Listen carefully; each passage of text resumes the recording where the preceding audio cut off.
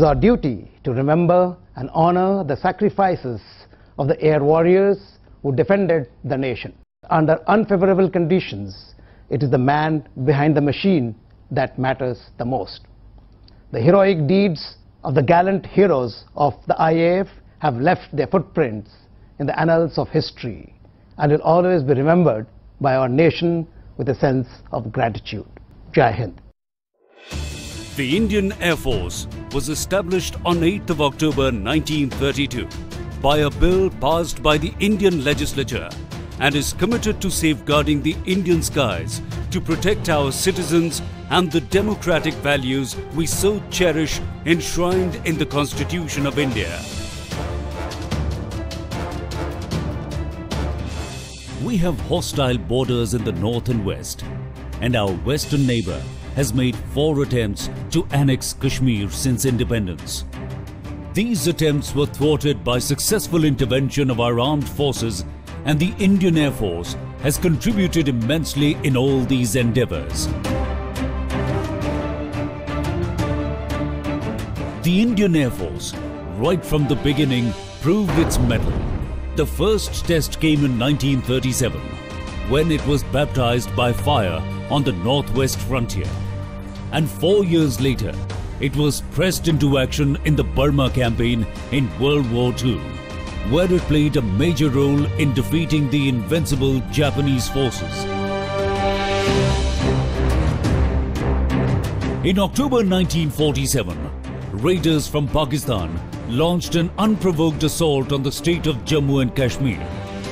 The IAF, with its transport planes, showed its agility by establishing a bridge to ensure that Indian soldiers and equipment reaches Srinagar, Poonch and Leh to save the state from raiders. The transport planes saved the day and continue to be the backbone of the IAF even today. Then came the Sino-Indian border conflict of 1962, which saw the IAF fulfill its limited role of providing transport and logistics support to our troops all along India's Himalayan borders. Air power was not fully utilized in an offensive role in 1962 ops. Many historians feel that had Indian Air Force been used to its full potential, the outcome might have been different.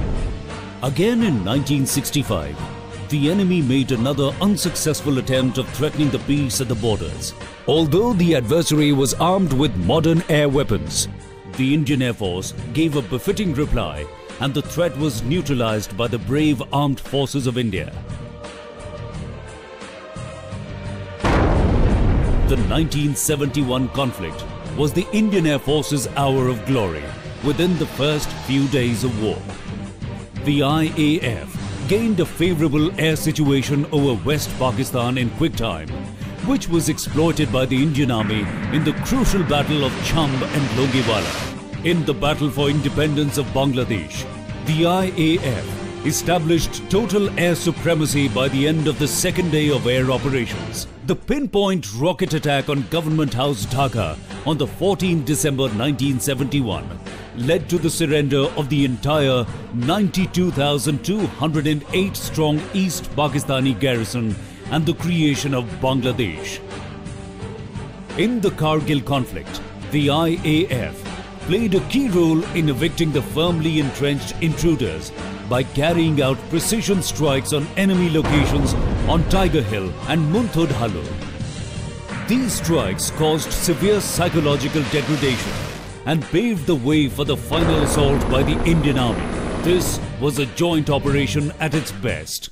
As first responders, the IAF has proved itself in the face of any natural disaster, calamity, accident or contingency with swiftness, which has afflicted the nation and abroad.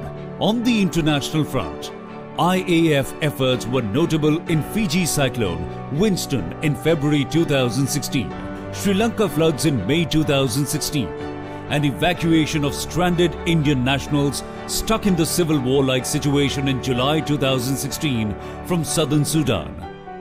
On the domestic front, the IAF responded promptly during Chennai floods in December 2015, a rescue mission by saving soldiers at 23,000 feet from Siachen avalanche by the helicopter pilots and Uttarakhand forest firefighting in April-May 2016.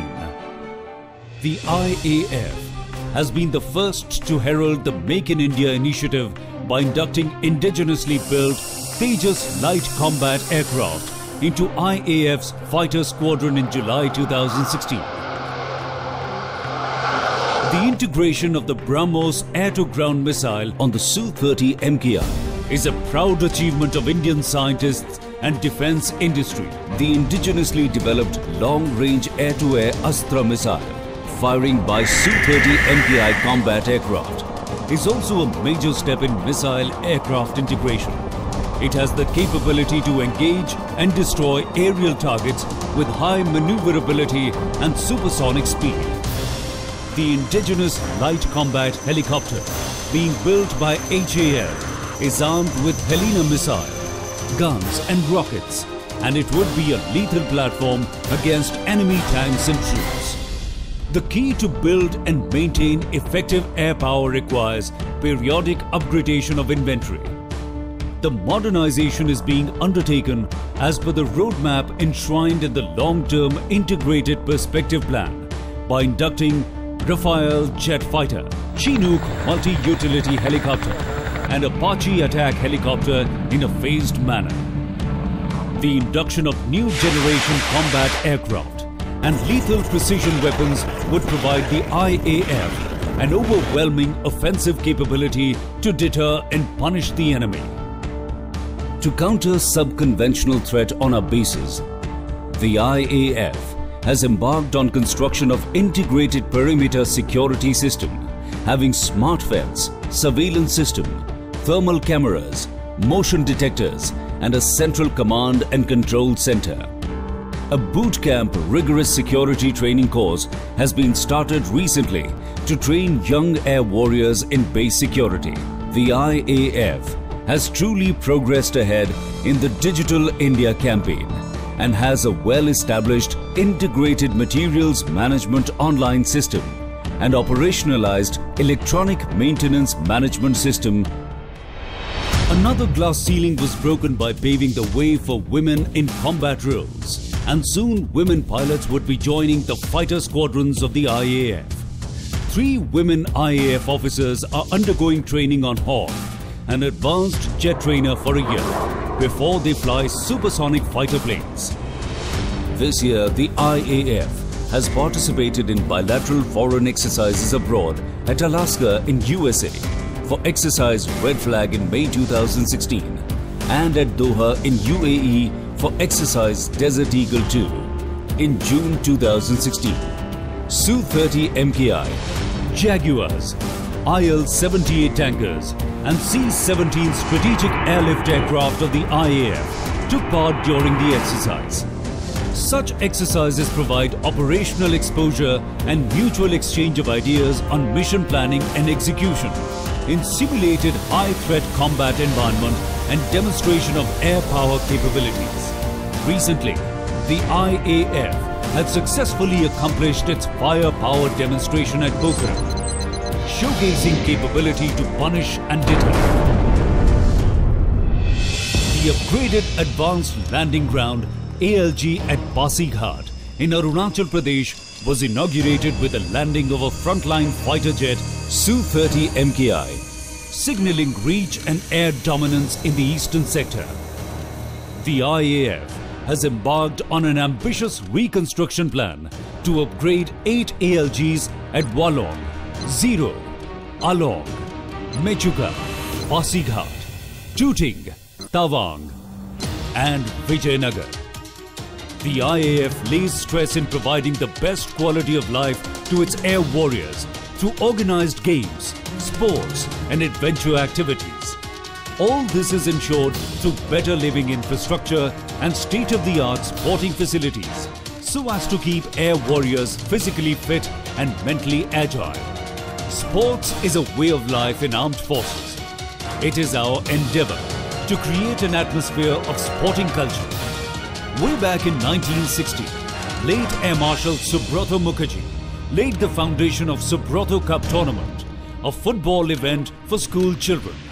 The IAF has been hosting the tournament for more than five decades without a break, and it has contributed in the growth of Indian football by giving rise to stars like Bhaichung Bhutia, Shyam Thapa, Bijen Singh, Robin Singh, Jackichand Singh, and Nirmal Chettri, among many others. For such sterling contributions, the IAF has received Rashtriya Khel Protsahan Puraskar on 29th August 2016 by the Honorable President of India, which is the recognition of IAF's continuous efforts in the sports field over a period of time. In fact, the IAF had gone a step ahead in 2011 itself by introducing under 17 girls football tournament so as to promote gender equality and empowerment of women. The man behind the machine is the key factor. It is the air warrior who takes inherent risks on a daily basis to achieve the primary task of keeping the nation's skies safe. The IAF, by the very nature of its instruments of warfare, would be the first responder in any conflict. We continue to train to take on any threat and are fully prepared to undertake full spectrum of air operations and respond to any challenge in the most befitting manner.